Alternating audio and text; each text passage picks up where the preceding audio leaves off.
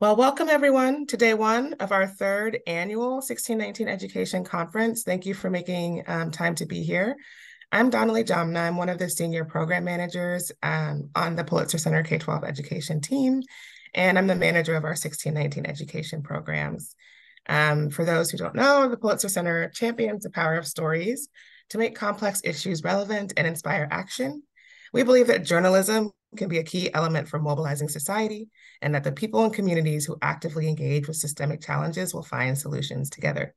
We're very proud to be an education partner for the 1619 Project, and our 1619 Education Network consists of teams of educators from across the country who are collaborating together to better understand and better teach the history and legacies of slavery in the United States.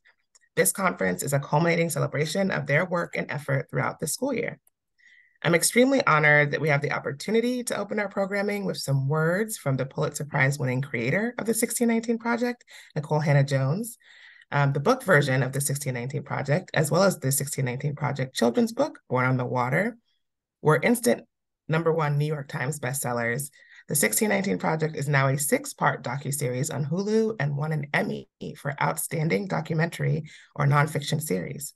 Nikole is a staff writer at the New York Times Magazine, and her career investigating racial inequality and injustice has earned her the MacArthur Fellowship, known as the Genius Grant, a Peabody Award, two George Polk Awards, and the National Magazine Award three times.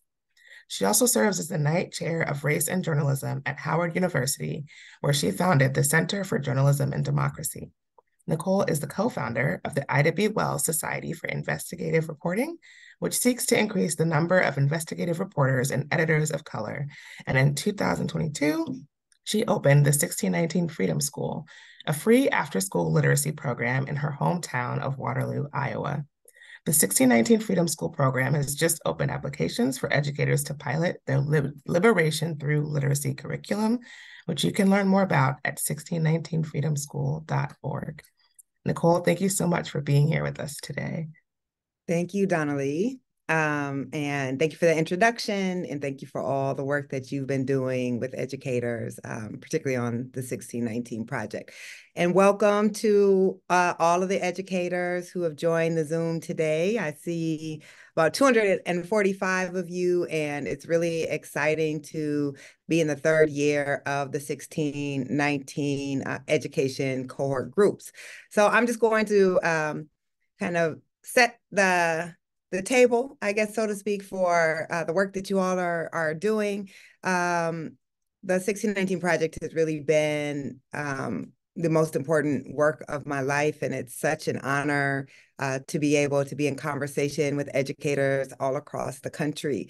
This is actually the this summer will be the fifth anniversary of the publication of the original 1619 project, and it's kind of um, hard to believe that since the project published, I've been working on nothing but 1619 uh, since. And the Pulitzer Center, of course, has been a partner with us at the New York Times from the beginning uh, when we first published the project and really has developed this uh, teacher cohort program into an astoundingly um, uh, fascinating and I think liberating and really um, a companion to uh, both the 1619 project and the work that so many of you are doing. I think as we as we gather here today, um, it's very clear how critical it is that educators are trying to teach our children the truth. We know that truth is under attack. We know that the 1619 Project is under attack. We know that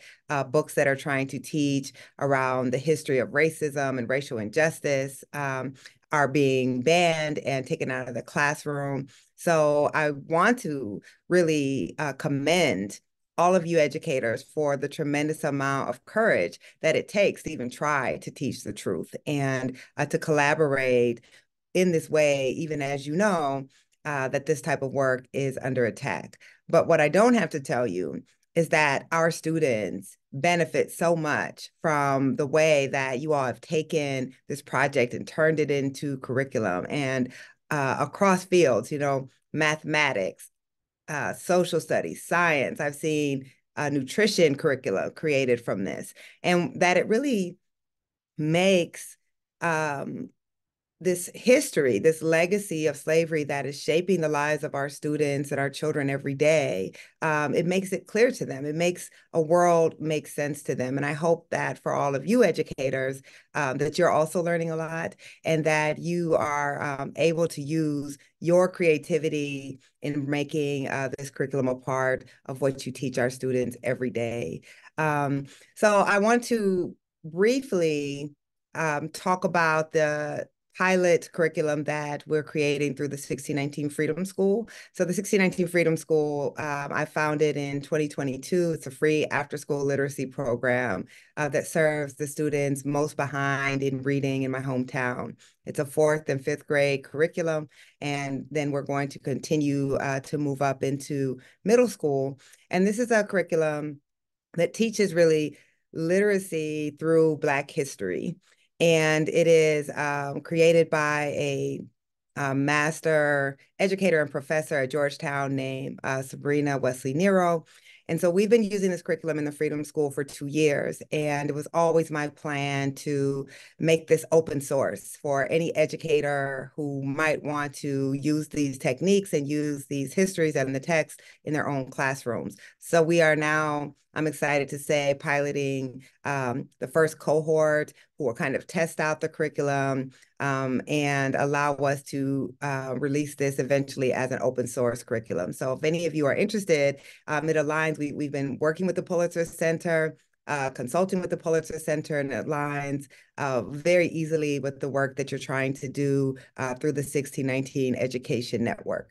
Um, I think that what's most important in these times is that all of our students, no matter their race, are getting an education that allows them to question, to be skeptical of narrative, um, that is not afraid of discomfort in the classroom. Because frankly, that's how we teach our students empathy.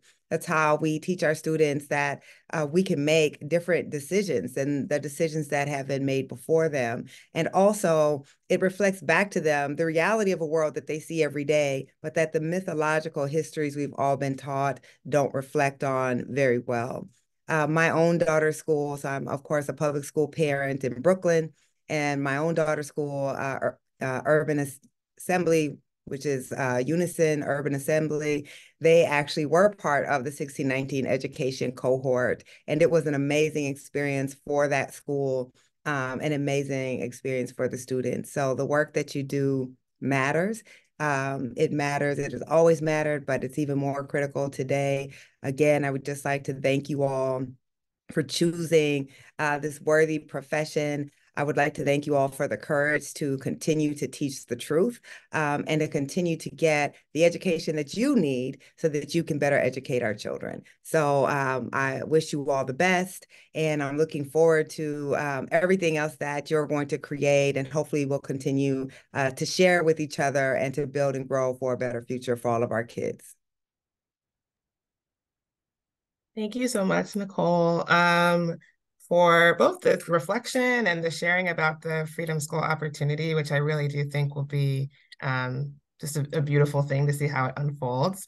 Um, and a great framing for our day today as we talk through community practice, doing this work in community, um, and connecting this historical content to our local histories everywhere, to general um, anti-racist education practice.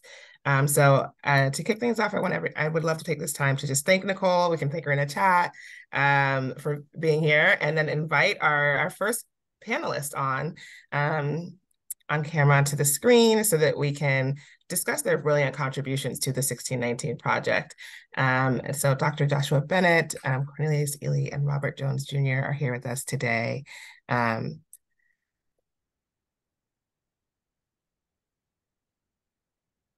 And yes, thank you for these um, comments coming in that we can all see.